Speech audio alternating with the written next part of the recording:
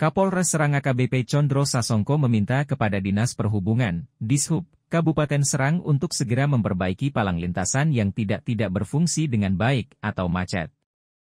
Permintaan Kapolres disampaikan kepada Kabit Keselamatan Dishub Kabupaten Serang M. Ade Lutfie saat meninjau lokasi kecelakaan yang dialami kendaraan Daihatsu Sigra di lintasan Kampung Bedeng, Desa Bojong Pandan, Kecamatan Petir, Kabupaten Serang, Sabtu, 13 April 2024.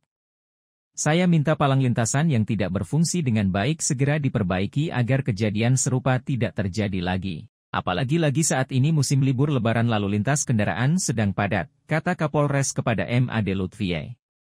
Kapolres juga mengimbau kepada seluruh penjaga pintu lintasan kereta api yang ada di wilayah hukum Polres Serang, untuk mengecek ulang dan memastikan seluruh palang lintasan kereta bekerja dengan baik. Permintaan ini bukan untuk lintasan di Kampung Bedeng saja, melainkan seluruh lintasan kereta yang ada di wilayah Polres Serang. Kalau tidak ada palang lintasan, pastikan penjaga lintasan siaga, tandasnya. Menanggapi permintaan Kapolres, Kabit Keselamatan Ade Lutfie mengatakan akan melaporkan kepada pimpinan untuk untuk segera memperbaiki palang lintasan yang tidak berfungsi dengan baik.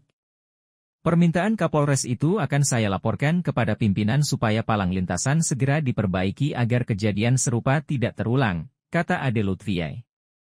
Selepas mengunjungi lokasi kejadian, Kapolres yang didampingi Wakapolres Kompol Ali Rahman CP mengunjungi korban yang terluka yang dirawat di rumah pengobatan alternatif. Seperti diberitakan kendaraan minibus Daihatsu Sigra B 2495 TM mengangkut tujuh penumpang yang akan mudik ke Lampung tertabrak kereta di lintasan Kampung Bedeng, Desa Bojong Pandan, Kecamatan Petir, Kabupaten Serang, Sabtu, 13 April 2024, siang.